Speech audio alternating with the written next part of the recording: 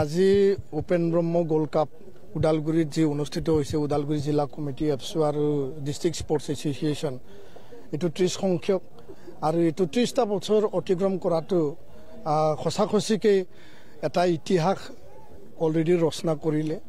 আৰু ত্ৰিছ বছৰ এই ইতিহাসত ইয়াত ৰাষ্ট্ৰীয় আন্তঃৰাষ্ট্ৰীয় আৰু ৰাজ্যিক পৰ্যায়ত বিভিন্ন খেলুৱৈ এই প্লে'গ্ৰাউণ্ডৰ পৰা জন্ম তেওঁলোকে মানে আগবঢ়াইছে বা তেওঁলোকে ইয়াৰ পৰা জয়লাভ কৰি বা নিজৰ যিখিনি প্ৰতিভা আৰু খ্যাতি তেওঁলোকে অৰ্জন কৰিছে। তো তাৰ কাৰণে ইউ এন গ'ল্ড কাপক আমি যি এটা আশা যি এটা চিন্তা যি আদৰ্শ আৰু যি সপোনেৰে এই অঞ্চলৰ বা দল সংগঠনে বা ৰাইজে সমৰ্থনেৰে মানে আগবঢ়াই নিছিল সেইটো সঁচা সঁচিকৈ আজি বাস্তৱত প্ৰতিফলিত হৈছে। আৰু এই মুহূৰ্তত মই উপেন ব্ৰহ্মৰ বডোফাৰ যি মানে আত্মা চিৰশান্তিৰ বাবে মই ঈশ্বৰৰ ওচৰত প্ৰাৰ্থনা জনাইছোঁ। আৰু ইয়াত যি অল ইণ্ডিয়া ইনভাইটেড যি গেম বিভিন্ন দেশৰ পৰা বিভিন্ন আমাৰ জিলাৰ পৰা ইয়াত অংশগ্ৰহণ কৰি আহিছে। আজি চূড়ান্ত খেল এই চূড়ান্ত খেলখনত এছ এফ আৰু আমাৰ ৱৰ্কিং ক্লাবে খেলি আছে। ভাল খেল হৈছে আৰু প্ৰতিভাৱান ক্লাবৰ যোগেদি খেলুৱৈ ইয়াত জন্ম লৈছে ওলাইছে। সঁচাকৈ আজি খেলৰ প্ৰতি এটা গণজাগৰণ এটা জনজাগৰণ এটা সৃষ্টি হৈছে আৰু মানুহৰ মাজত এটা বিশ্বাস হৈছে আত্মবিশ্বাস বাঢ়িছে গাৰ্জেনসকলৰ এটা আত্মবিশ্বাস খেলুৱৈসকলৰ আত্মবিশ্বাস বাঢ়িছে যে খেলৰ যোগেদি আমি নিজৰ জীৱন গঢ় দিব পাৰোঁ জীৱন আমি সংস্থাপন ল'ব পাৰোঁ বা দিব পাৰোঁ। সেই কথাটো আজি প্ৰমাণ হ'ল। ইউ এন গ'ল্ড কাপ সদায় উজ্জ্বল হৈ থাকক মই তাকে কামনা কৰিছোঁ। ধন্যবাদ।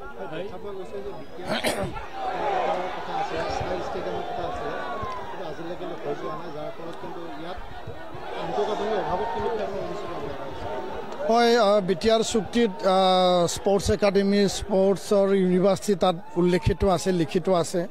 আৰু অলৰেডি ওদালগুৰিত এখন মানে sports academy national sports academy তাত মানে কনষ্ট্ৰাকশ্যন কৰিবৰ কাৰণে কেন্দ্ৰীয় চৰকাৰে অনুমোদন জনাইছে।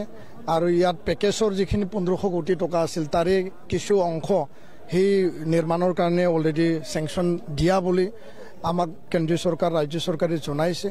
আৰু যিখিনি চাই ষ্টেডিয়াম হ'ব লাগে বা জিলা পৰ্যায়ত ষ্টেডিয়াম এতিয়া নিৰ্মাণ হৈ আছে মুখ্যমন্ত্ৰী ডাঙৰীয়া তেখেতো কোকৰাঝাৰত এশ কোটি টকাৰে মানে ষ্টেডিয়াম নিৰ্মাণৰ কাৰণে অলৰেডি ঘোষণা কৰিছে। আৰু বিভিন্ন আন্তঃগাঁথনি অভাৱ এতিয়াও আছে কিন্তু এই অভাৱ অহা পাঁচ বছৰত পূৰণ হ'ব বুলি আমি দৃঢ় বিশ্বাসে আশাবাদী।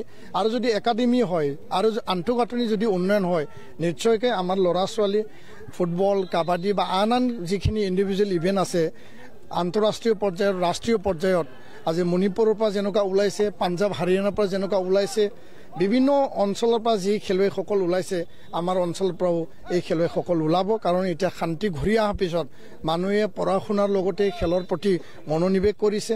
আৰু এই খেলে সদায় আমাক সমন্বয় ভাতৃত্ববোধ শান্তি সদায় এই মঞ্চখন দিছে। তাৰ কাৰণে মই ৰাইজকো ধন্যবাদ জনাইছোঁ।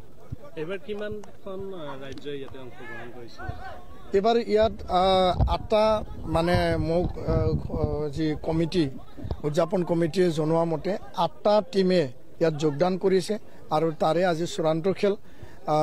সেই খেলখন আৰু অধিক প্ৰচাৰ হ'ব অধিক উজ্জ্বল হ'ব মই কামনা কৰিছোঁ। ধন্যবাদ।